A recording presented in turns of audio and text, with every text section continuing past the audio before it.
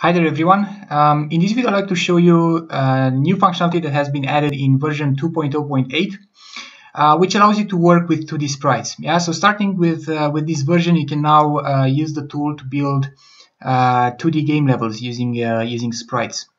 And you have access to all the placement tools, object selection, object erasing, snapping, and even mirroring um, when when working with with sprites. So um, the first thing that you would like to do when working with uh, with sprite objects is to uh, make sure that the grid is aligned with the XY plane. So you can do that by uh, setting the X rotation field of the grid to 270 and that will align the, the grid plane to the XY plane. Um, yeah, and then you can uh, you can just you know paint sprites. Right now I'm using the decor paint mode, which means that I can uh, place uh, sprites on the grid and I can uh, you know paint them like this. Um, you can also use the brush mode to paint multiple sprites at once. Uh, currently I only have two sprites here and uh, yeah I can do something like this. Uh, be careful when you're working with 2D sprites. The uh, whenever you have to specify an axis, an, an alignment axis, uh, you have to specify the positive look because, uh, or the negative look, uh, because that will ensure that the sprites are, you know, they, they sit flat on the on the plane. Otherwise, you might get, you know, incorrect incorrect results such, such as these. Yeah.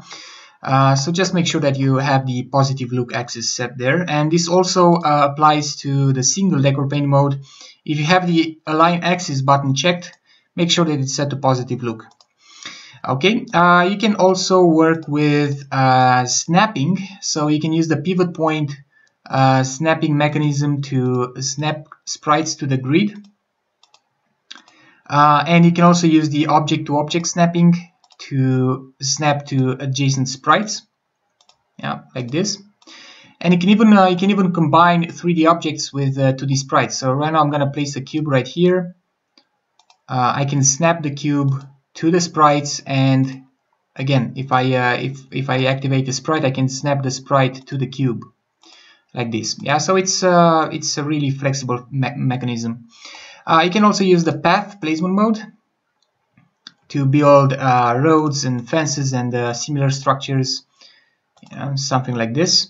Um, when you're working with the path and the block placement modes, uh, these these structures cannot be raised or lowered when using sprites because uh, sprites have a zero size along the the grow axis. Yeah, so it, this is not possible, and it doesn't really make too much sense anyway in in 2D because you're working the XY plane and you don't you know you don't really need that kind of functionality. Um, when working in path placement mode, you probably already know that you can use tile connections and tile connections uh, starting with this version also work with 2D sprites. And I have here some sprites uh, that I use for each tile connection. Uh, they're not the, the, sprites themselves are not really meaningful uh, in this case uh, for each for each tile, but um, you know I'm just using something that uh, for, for the purposes of the demonstration. So let me just show you a quick example.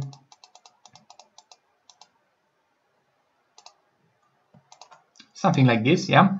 So we, we can see that we have the asteroid set as the begin, we have the ball sprite set as the end tile, the forward uh, the forward tile is set to the wheel sprite, then we have turn here, here, here, here. Uh, we have T, the, the T junction right here, cross, uh, yeah, here, and uh, we also have the autofill tile set to the cube yeah? Um, if you've worked with tile connections before in in Octave uh, you probably already know that um, all the tiles have to have the same size. Yeah so um, that means that uh, and and the size has to be square. So for example um, uh, the, uh, the, the tool will use the the begin tile as a reference. And if the begin tile has a size of uh, 3 by 3 uh, then all the other tiles will be scaled so that they have the same size. Uh, more than that, if the begin tile has a size of, well, let's say, 3 by 4, uh, then the tool will actually use the average uh, of these two values. Yeah, so uh, in this case, it's going to be 3.5. Uh, so just just keep that in mind. Yeah. So the, the the idea is that you have to you have to use sprites that are um, that that have the exact same square size.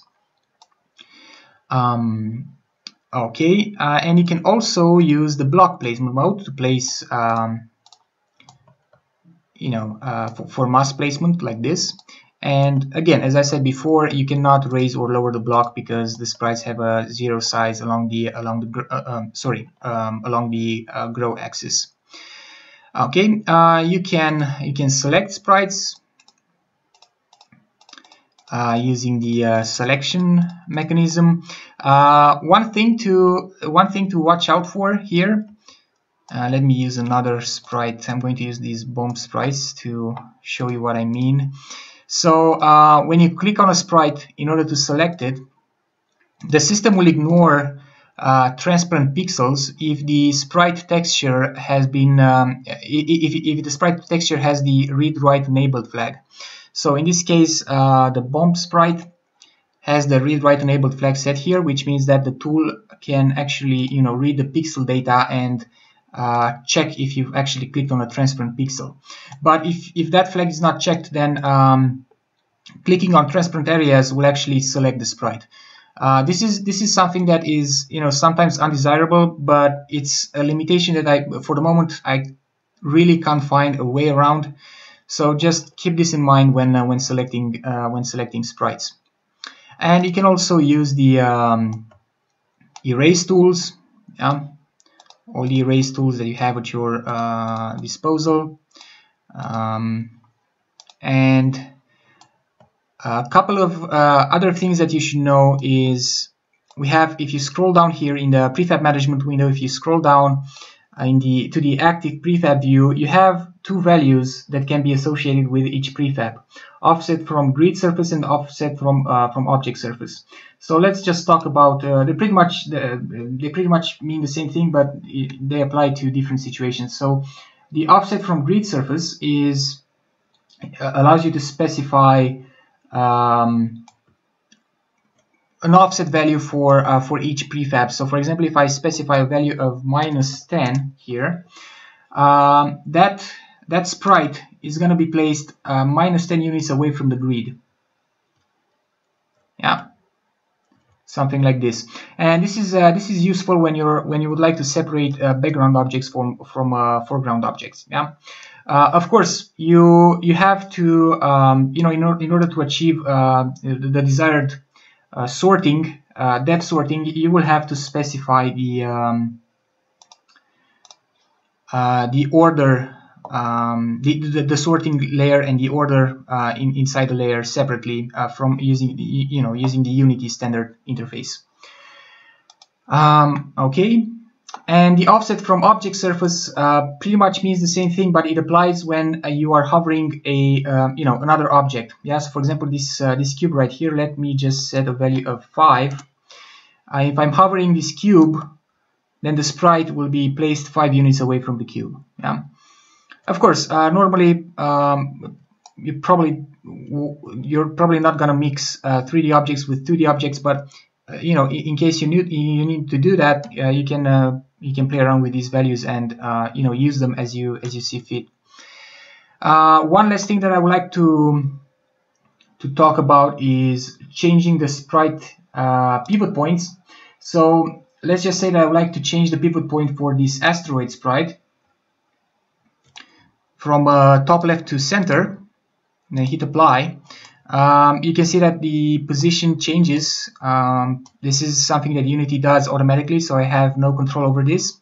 But there is something else that you need to do. In order to interact with these sprites correctly um, you will have to press the refresh scene button right here. Yeah so after you change the pivot point of a sprite make sure that you press the refresh scene button and that will uh, rebuild the internal uh, object representation that the tool uses to allow you to interact with those objects accordingly. Um, okay, that's uh, that's it, guys. Thanks for watching. Bye bye.